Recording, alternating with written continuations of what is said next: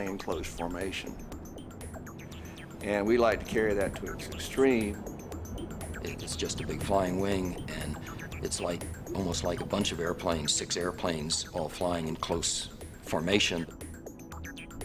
Although it has a wingspan longer than a Boeing 737, the Pathfinder weighs less than 500 pounds. It's big, but also light, a contradiction in engineering. Paul MacCready and Ray Morgan designed this unmanned flying wing to fly very slowly and very high for weeks on end as it studies the Earth's atmosphere. It flew five miles high in its first altitude test, and in future flights it will climb even higher into the stratosphere. There's an interest in having vehicles that can move around in the stratosphere, the stratosphere above, say, 30 or 40 or 50,000 feet, uh, the next 50 or 100,000 feet is a mantle, a layer uh, of great importance to the world that in permitting some radiation to come in, screening out other radiation really determines the existence of life on Earth. So you want to be monitoring and doing research that lets you understand what's going on there. This is the, the layer that protects us Cruising in the middle stratosphere requires about six times the power and speed needed at sea level. As we go higher, uh, the density of the air goes down, and the airplane has to fly faster in order to develop the same amount of lift. Uh, as we go higher and higher, it takes more and more power to fly. In an inter internal combustion powered airplane, uh, this is a big penalty, and this limits the altitude they can fly to. The higher it goes, the less power it has. But the Pathfinder is different. It's powered by the sun. The more of the surface that I have that I can cover solar cells, the more power I get, the less surface I have exposed to the air, the less drag I get, and the less structure I have, the less weight I have. It drives you towards something that looks like just a wing.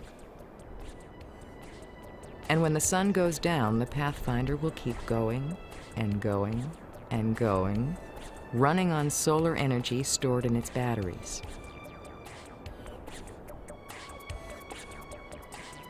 While others compete for speed records, MacCready and Morgan like going slow. We focus on things that take very little power to fly. Uh, the solar plane, for instance, flies on the power generated by about four average-sized hair dryers. And we can fly to over 60,000, 70,000 feet on that amount of power. Um, so flying slowly has an advantage and it reduces the amount of power it takes to fly.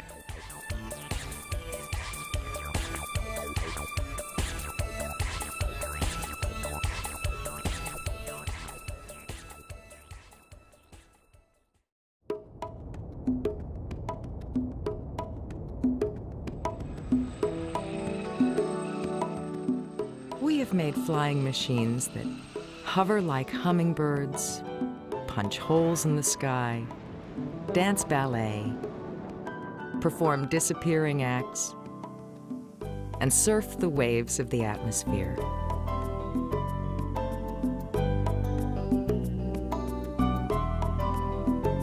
For the pilots, the passion is being in the air, whether gliding at 30 miles per hour or slicing through the sky at three times the speed of sound.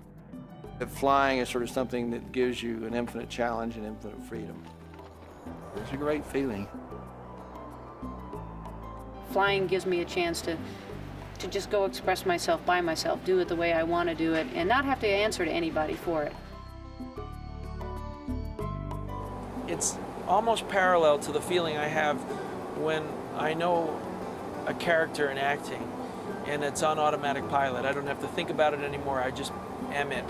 I know what fascinates me about flying is the freedom of it. It's, it's just getting away from the ground, looking down, and you're free of all of that. And sometimes when I'm flying, I think this is the only thing in my life that really makes sense.